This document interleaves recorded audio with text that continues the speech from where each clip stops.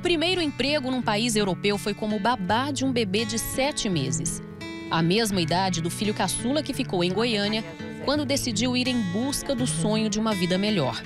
Maria José deixou para trás três filhos pequenos quando embarcou num avião para a Europa há 22 anos. J'ai gardé bebê que avait 7 mois. O relato emocionado a um canal de televisão belga relembra a história de luta para conseguir se legalizar no país europeu.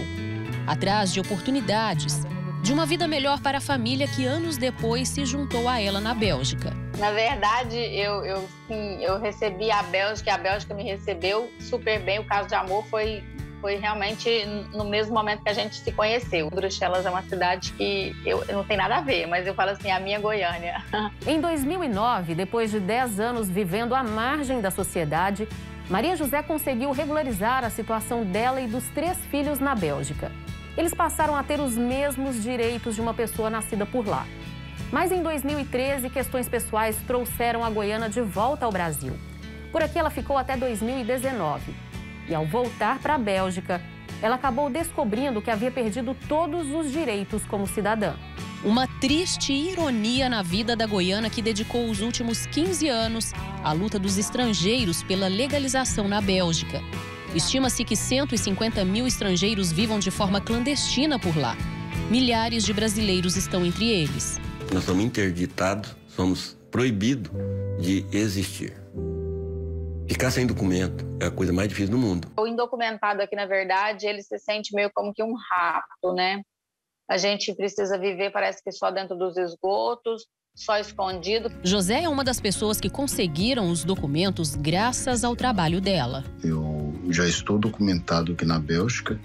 Meus filhos também receberam a documentação. Eu estou muito contente com o resultado que obtive, não esperava isso, para mim foi um grande milagre. Para pagar as contas, Maria José faz faxinas e trabalha como esteticista. Mas é na militância e na luta pelos direitos dos estrangeiros sem documentos que ela encontrou a verdadeira missão de vida. Ajudou a fundar e coordena o Coletivo Brasileiro do Sem Papel em Bruxelas, capital do país. Vai às ruas, levanta bandeiras, Participa de debates e entrevistas em emissoras de televisão da Bélgica. Ergue a voz em nome de tantas outras que não são ouvidas ou reconhecidas. O sonho de reconquistar os próprios direitos como cidadã belga é maior do que nunca. E essa é uma luta coletiva da qual a goiana se orgulha tanto. É uma sensação assim de, de vitória mesmo. Sabe aquela do, do Ayrton Senna chegando, cruzando ali a linha de chegada? Aquele tum-tum-tum no coração, exatamente igual, sabe?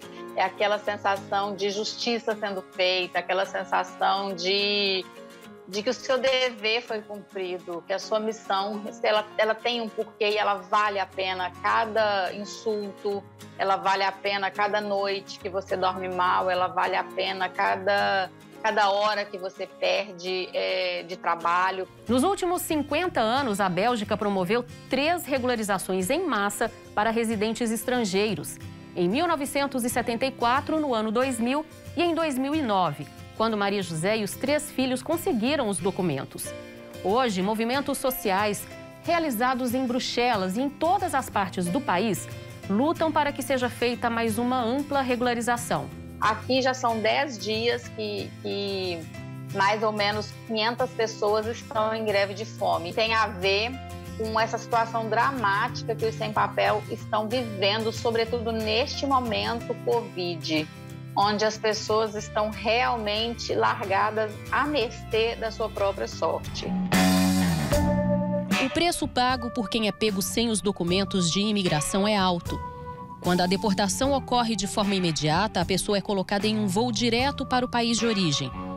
Mas isso nem sempre é possível e o estrangeiro pode passar meses num centro de detenção, privado da liberdade, até a deportação acontecer.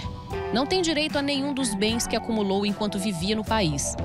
E a humilhação é quase sempre inevitável. Eu quero que as pessoas me vejam como uma mãe de família, como uma mulher guerreira que sou, como uma trabalhadora e como uma pessoa igual você, igual qualquer outra.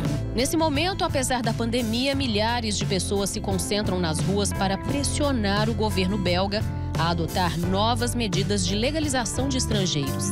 E é essa busca que move Maria José. O mundo é nosso se você tem esse desejo no seu coração, por que não, né? Não deixe, eu sempre dizia isso para as minhas alunas, é, não deixe o ladrão de sonho roubar os seus sonhos, porque muitas vezes é, as pessoas querem tirar de você o que você tem de mais precioso, que é o seu sonho.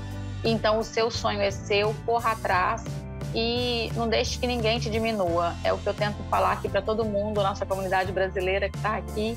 Não deixe que ninguém te diminua. Corra atrás e bora para a luta.